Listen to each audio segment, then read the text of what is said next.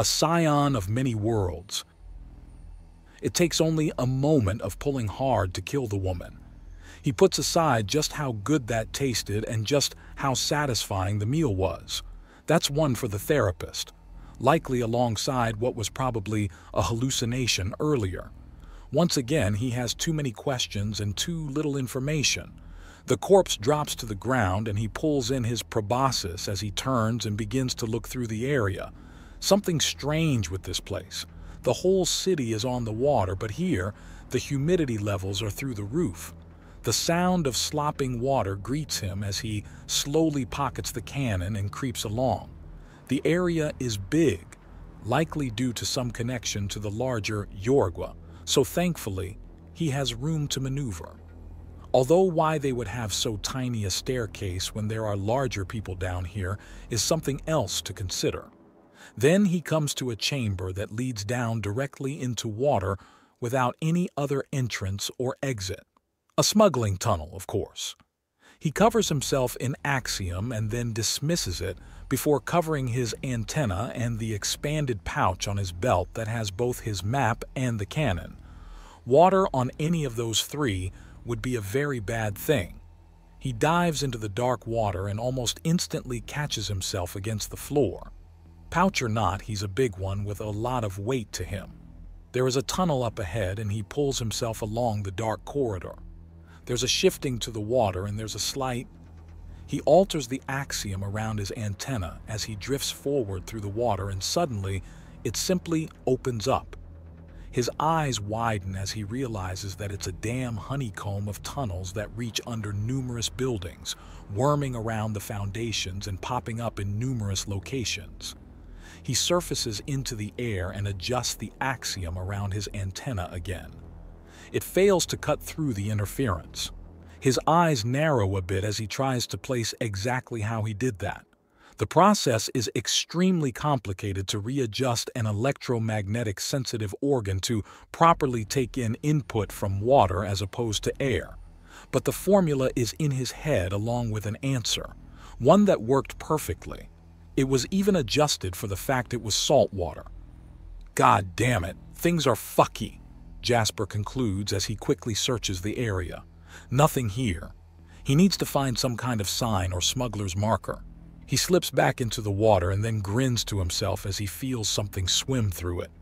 He quickly pushes through the water after it, and whoever it is swims off far faster than he can follow.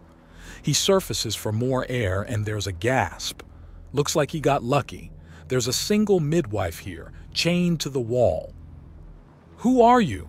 The Earthani are... Wait, you're that odd one.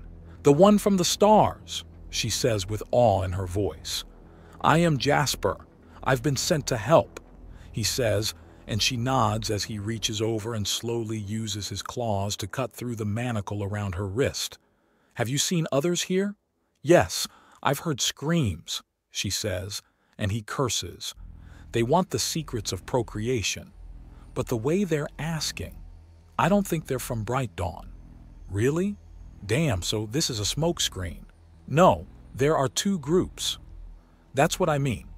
One group is using the actions of another to disguise their own actions. Someone wants the midwives. Someone else has another target, he says. All right, now don't fight this. Just let it happen. Don't fight what? she asks as he pulls out the confiscated laser and hands it to her. I'm teleporting you to the temple in the main hub of the city. It's secure for the most part. They'll tell you how to use that weapon. Let them know I'm still looking for the rest. He tells her before putting his hands on her shoulders. He's very careful, very, very careful to slide the odds and then she's gone. There's a slight sense of the temple from his antenna, and he nods. It worked perfectly. Then something jumps onto his back and he slams it into the wall. It's a Nagasha, and she starts wrapping around him and burning with heat before pulling him into the water. The heat ramps up and the water boils as he tries to get a grip on the slithery assassin. Knuckles wrapped in metal slam into his face as she starts to beat him around the head. He feels a tooth loosen before he can really start applying torque with his wings to force her off somewhat, and he manages to grab onto the wall and heave up. They break out of the water, and he can now hear it properly boil around her as she tries to cook him alive with her self heating abilities. He slams them both into the wall, and she only grunts. Two more slams, and she goes limp and starts sliding off. But she's a fighter and has her focus back in just a few seconds. Unfortunately for her, he has enough time to plant a solid stance and grab her around the face. She tries to struggle but finds herself against the blades as his antenna lay against her forehead. Good morning, sunshine. I have some questions. And if I don't want to answer them, she snarls at him. Oh, I'm getting the answers. How unpleasant it is for you is what you have control of, he says softly. Lives of good people are at stake, and you have made yourself the enemy to me and them. Good people? Good people?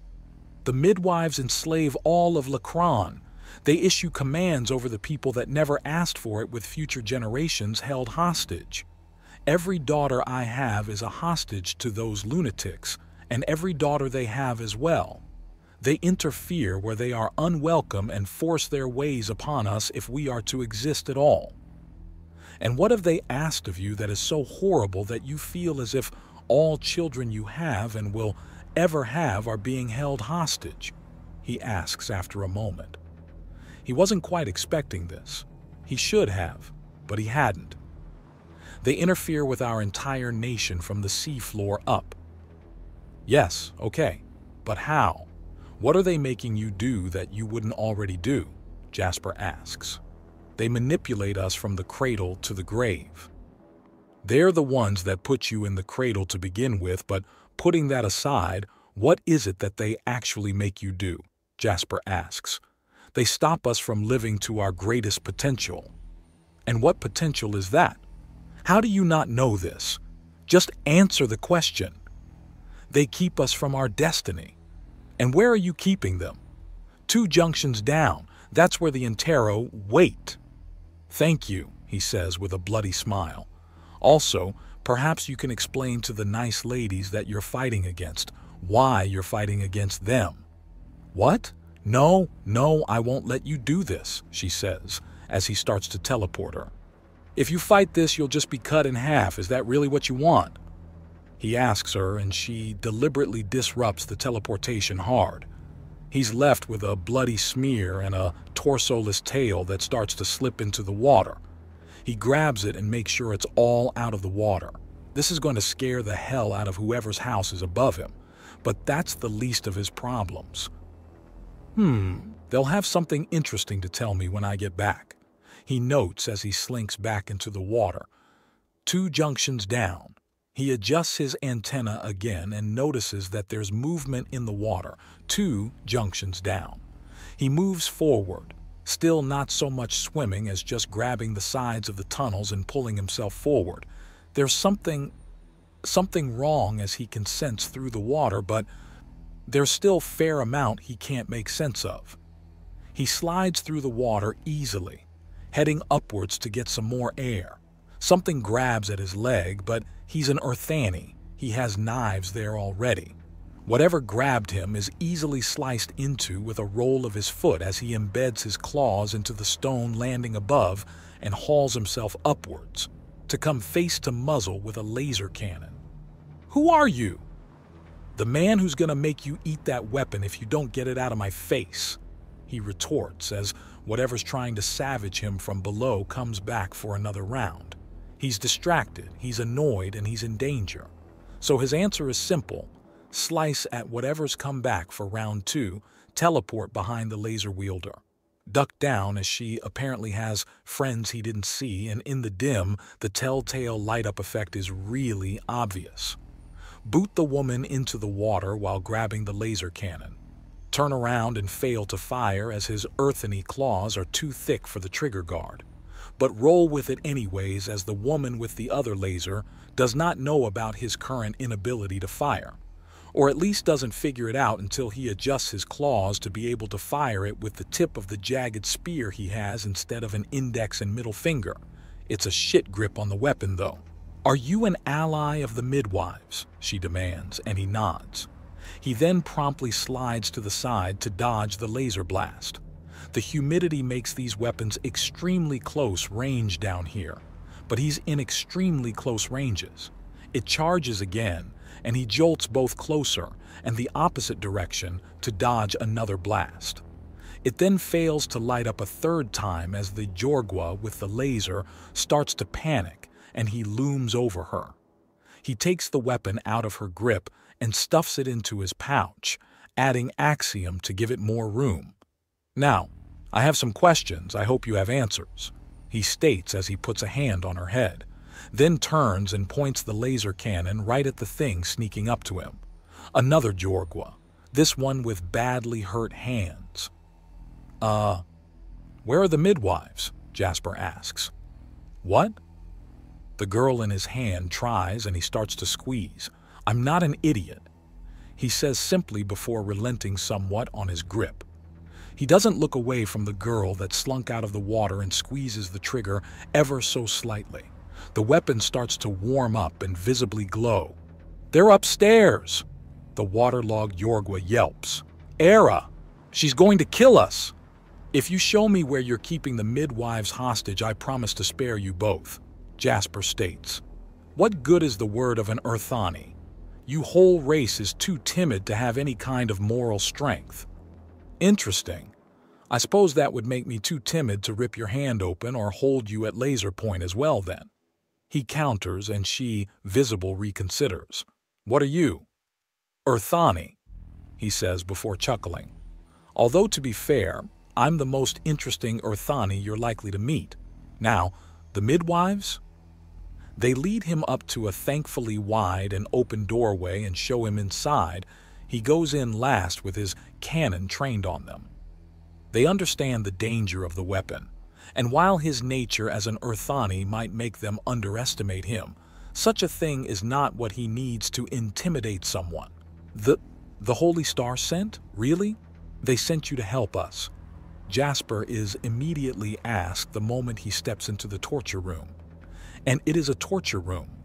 Four women chained to the walls, another on a table with a water erumenta holding a burning brand giving him a serious deer in the headlights look.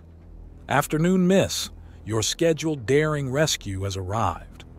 Jasper jokes as he slowly lines up a shot from the cannon to the interrogator. The problem is that right behind her is one of the hostages. If he pulls the trigger, the poor girl is dead. He needs to get clever.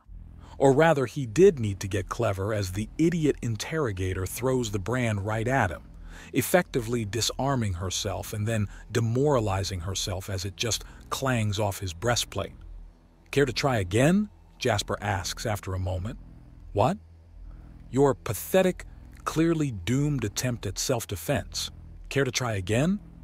Why are you here? To rescue the midwives and quell the riots, although if you care to tell me where these weapons come from, he begins and she flinches. Oh, you do know. Excellent. That means you get to play interrogator from the other side. Speaking of, could you untie me? The midwife on the table asks, and the interrogator smirks as she draws a handful of water out of the air and solidifying it into a knife. He can't. If he attacks me, then my companions can gut him, armor or no. He attacks them and I kill you. We're at a... Jasper cuts off the speech by adjusting his aim and shooting off her arm. The beam carries through and shreds the chains one of the midwives is dangling from and drops the poor woman to the floor. There's a duo of clangs, and he uses the cannon to club both women who had instantly turned to try and knife him through the breastplate in the heads. They crumple like paper. I know that a lot of axiom is being tossed around, but surely they could have sensed that my armor is reinforced. He mutters even as the interrogator screams as her mind catches up to her very literal disarming.